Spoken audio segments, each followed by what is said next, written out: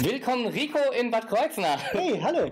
Willkommen liebe Zuschauerinnen und Zuschauer zum nächsten Monatsrückblick, diesmal zum Juni äh, hier im Shred Talk auf EMTV News.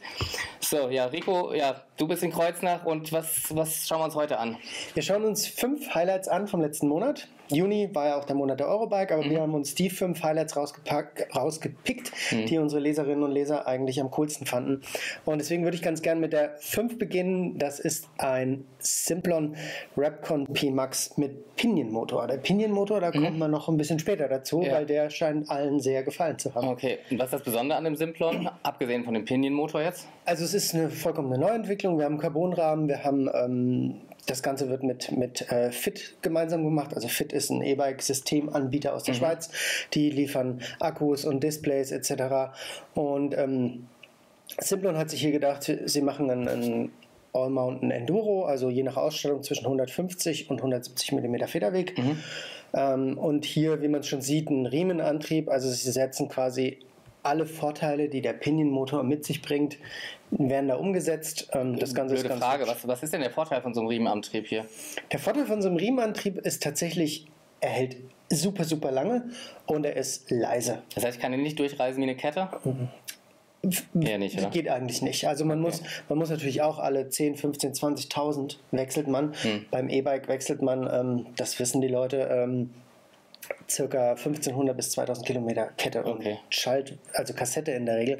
Hier ist es alles viel langlebiger und ähm, und, und du hast halt hinten auch kein cool. Schaltwerk, gell? Geh gerade noch ein Bild zurück. Genau, also man hat hinten kein Schaltwerk. Okay. Du hast kein, keine Kassette, damit mhm. hast du weniger unbewegte Masse am Hinterrad. Und das Ganze, ja. ungefederte, ja. natürlich. Ähm, und das Ganze wird tatsächlich ein bisschen lebhafter. Also okay. man muss man den Dämpfer ein bisschen auch. umstellen, man muss ein bisschen äh, gucken, es ist ein bisschen anders. Mhm. Ähm, es ist aber schon, es macht ziemlich viel Spaß, tatsächlich. Okay. Also es ist auch diese ganze Pinion-Nummer, wie gesagt, wir kommen später nochmal dazu, weil äh, der Pinion-Motor hat es natürlich auch in die Highlights geschafft. Ähm, das ist schon was Besonderes. Okay. Ansonsten haben wir hier eben dieses Rad. Ähm, Startpreis sind äh, 8.999 Euro. Mhm. Ähm, wie man es von Simplon gewohnt ist, können wir hier über den hauseigenen Konfigurator quasi bei der Bestellung das Ganze noch ein bisschen individualisieren. Ist in Summe ein ziemlich cooles Rad mit coolen Features. Okay, damit hat es das echt in, in die Highlights des Monats dann verdient, ja. Sehr schick. Äh, genau. Äh, du bist das schon gefahren? Oder? Ich bin das schon gefahren, okay. allerdings in Rahmengröße M. Rahmengröße M ist mhm. für mich ein bisschen zu klein bei dem Modell. Deswegen ähm, haben wir uns da, habe ich da mich mehr auf den Motor konzentriert. Ja, okay. Genau. Nummer 4. Nummer 4. Der gleiche Motor. Zauberei. Zauberei. ähm, ähm, Bulls VUCA Evo All Mountain ist ein komplett neu entwickeltes All Mountain. Ähm, Startpreis hier 8499, Federweg ähm, auch um die 150 mm in Front und Heck, Full 29, Carbonrahmen, großer Akku. Und es sieht sehr geil aus, oder? Es sieht ziemlich geil aus. Okay, krass. Was man auch nicht so richtig sieht, das ist tatsächlich bei der Eurobike gemachtes Bild. Finde ich ganz schön cool. Wahnsinn, ja. ja. Okay. Also es ist ein, ist, ein, ist ein cooles Rad, ist ein schnelles Rad höchstwahrscheinlich. Ich konnte es einmal, wie gesagt, bei der Eurobike hatte ich es in der Hand. Ähm, bei der äh, Vorstellung von dem, von dem Motor hatte ich es mhm. auch in der Hand. Ähm, die, der Motor wurde kurzzeitig in, mal in Riva vorgestellt. Ähm, ist in Summe ein spannendes spannendes Rad tatsächlich. Also VUCA Evo AM2. Okay. Genau, VUCA Evo AM2. Sehr, sehr schön. Mhm, dazu gibt es tatsächlich auch noch ein Video von der Eurobike, haben okay. wir mitgebracht. Ähm, ja, ist ganz spannend. Im Artikel würde ich es mal verlinken. Ja, ja, perfekt. Genau, auch hier, wie gesagt, Pinion ähm, MGU E1.12. 12 bedeutet, wir haben 12 Gänge. Mhm. Gut, mal gucken, ob jetzt wieder Pinion im nächsten Highlight mit drin ist. Ich glaube, jetzt kommt kein Pinion. Jetzt kommt M1 mit ähm, dem neuen Bosch SX Motor. Kleinerer Motor, Light EMTB, ähm, 55 Newtonmeter maximales Drehmoment, aber 600 Watt Leistung. Das bedeutet, er hat eigentlich Leistung wie ein großer, also wie ein Bosch Performance CX. Mhm. Und das spürt man auch tatsächlich auf dem Trail. Also man hat nicht so dieses, dieses äh, Uphill-Gefühl, wo man kaum hinterherkommt, sondern auch hier ist echt Uphill-Flow wird hier generiert. Ist ziemlich cool. Das ganze Rad ist ziemlich cool. Okay, also wir hatten ja schon, schon mal M1 hier im Test und haben auch schon viele gesehen.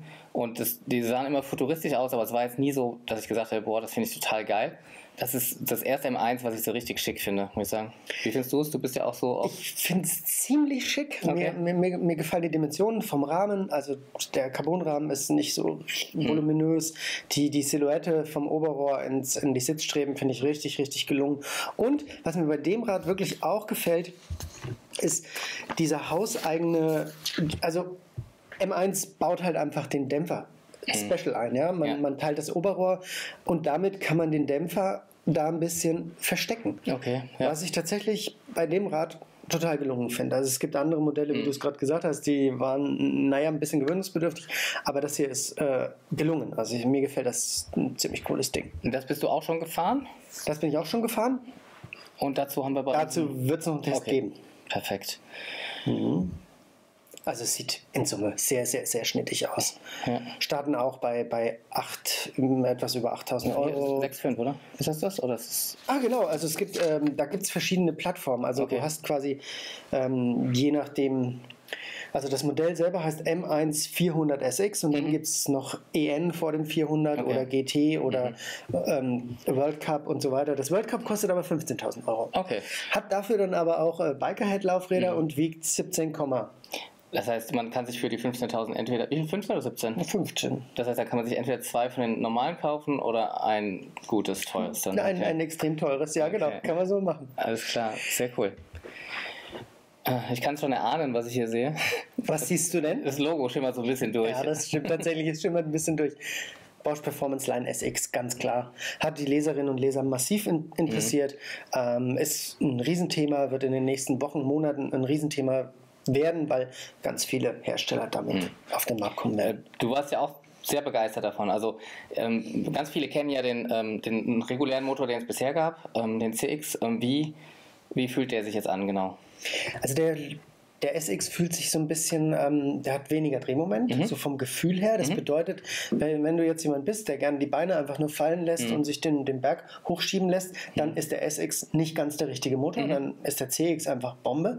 Oder wenn du so technische Uphill, Uphills hast, wo du mal schnell über einen Stein noch mit so Mhm. einem letzten Kick musst, wo du halt einfach dieses Drehmoment brauchst, ist die CX besser. Aber jetzt im Vergleich zu einem, zu einem TQ Genau. oder zu einem, äh, zu einem Male oder. Ja, also, der, also, also das ist ein absoluter Light-EMTB-Motor. Mhm.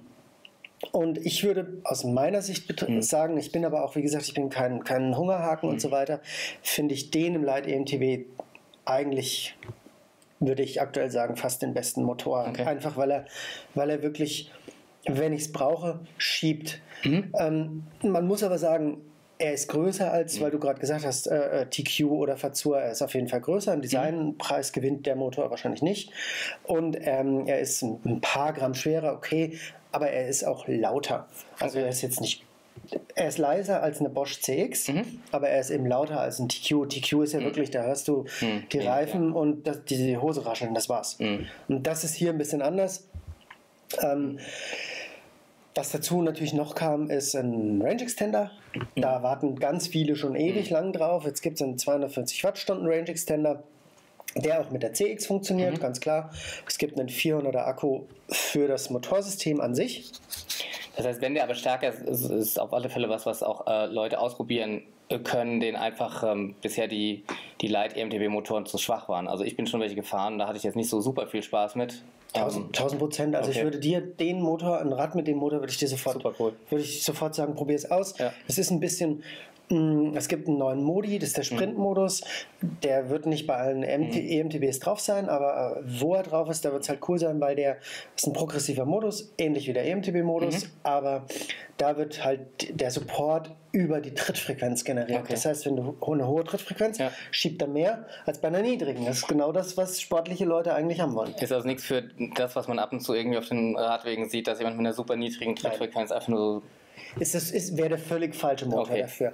Ähm, Das heißt, genau. es wird dann weiterhin auch wahrscheinlich den, den anderen geben, weil es zwei verschiedene Zielgruppen dafür gibt. Dann. Total. Also es wird einfach mit dem neuen Motor wird das Ganze noch differenzierter. Mhm. Wir haben immer noch Performance EMTBs mit der Bosch CX und wir haben dann eben Light EMTBs mit Bosch SX. Das ist so, also die, die werden miteinander da sein, auf jeden Fall. Was aber auch neu ist, Es gibt auch noch ein, zwei Displays neue von Mhm. Bosch.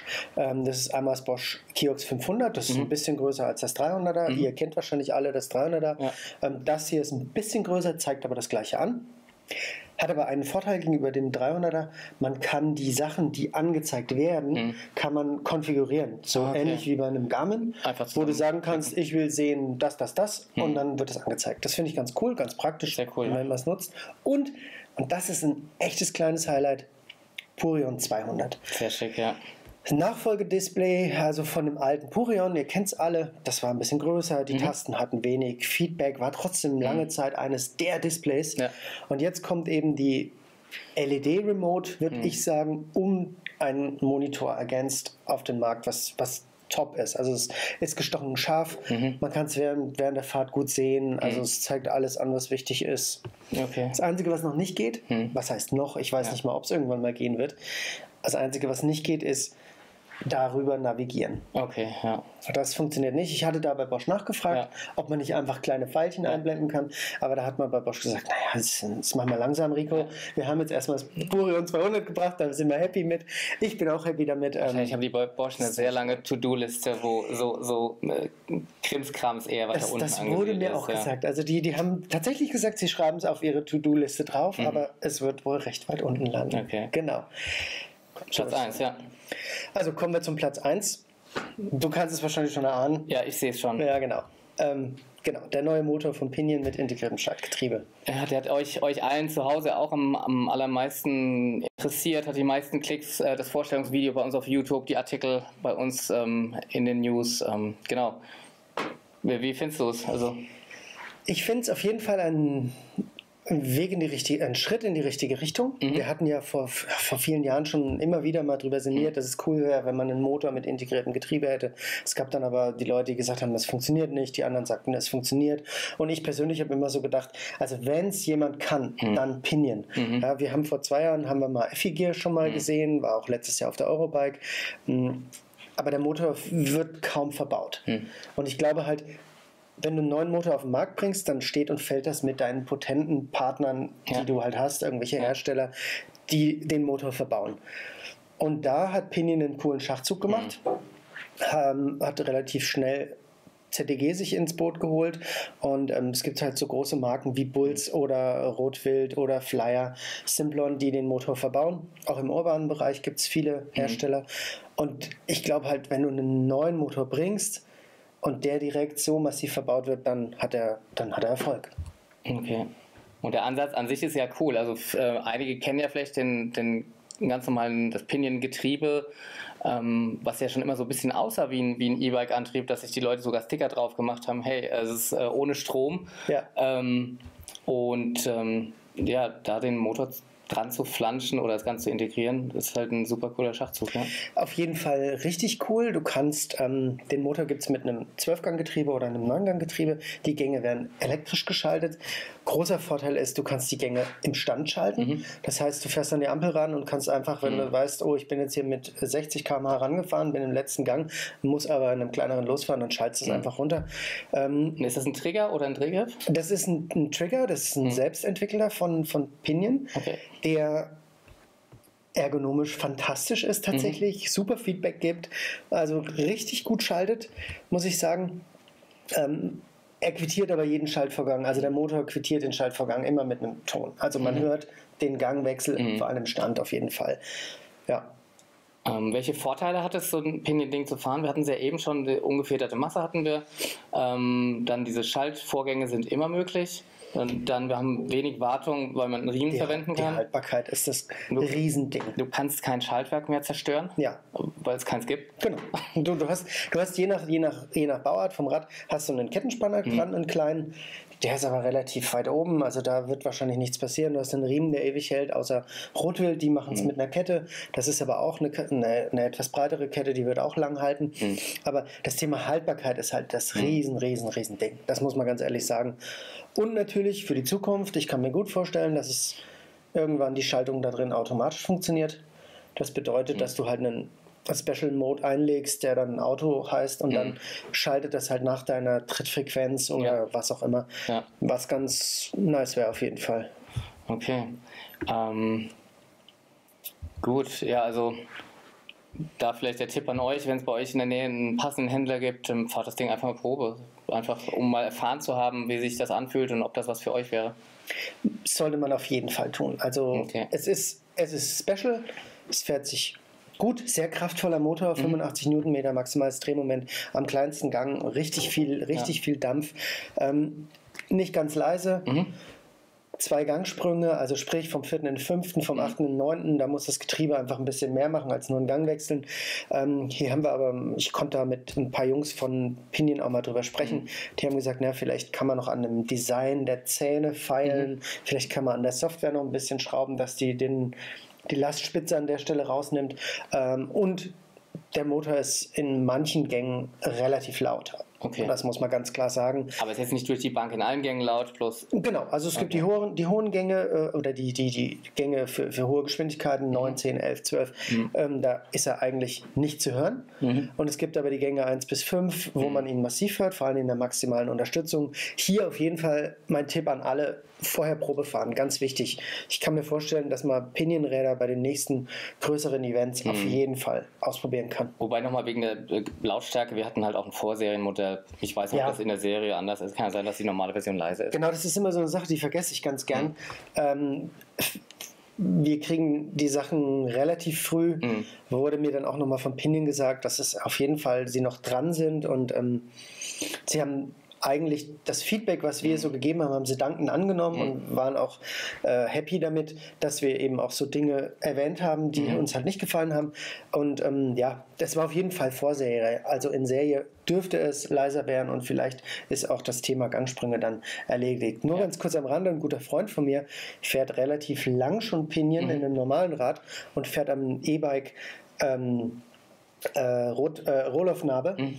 Und der sagt, also wenn man sich einmal an diese, mhm. diesen, dieses Schaltverhalten zwischen 4, 5 mhm. und 8, 9 gewöhnt hat, dann ist es gar nicht mehr spürbar. Also mhm. es ist vielleicht auch ja. Auf hohem Niveau. Ja. Ich denke halt für mich, wenn ich mich neu drauf setze ja. und habe halt was, was mir nicht so oder was mir negativ mhm. auffällt, dann muss ich es halt auch sagen und Klar. das haben wir getan. Ja. Okay, ja perfekt. Damit sind wir durch mit den Monatshighlights des Monats Juni. Würde ich sagen. Okay, ähm, dann sehen wir uns in Monatshighlights vom Juli. Vom Juli wieder, genau. Wenn ihr Fragen oder Kommentare habt äh, zu, zu dem Video jetzt, zu den Sachen, die wir angesprochen haben, ähm, schreibt gerne in die Kommentare, entweder im Artikel oder im Video. Ähm, wir verlinken euch noch andere Videos, die hier erwähnt worden sind. Und ansonsten. Wie immer, bleibt elektrisch. Tschüss, Dankeschön.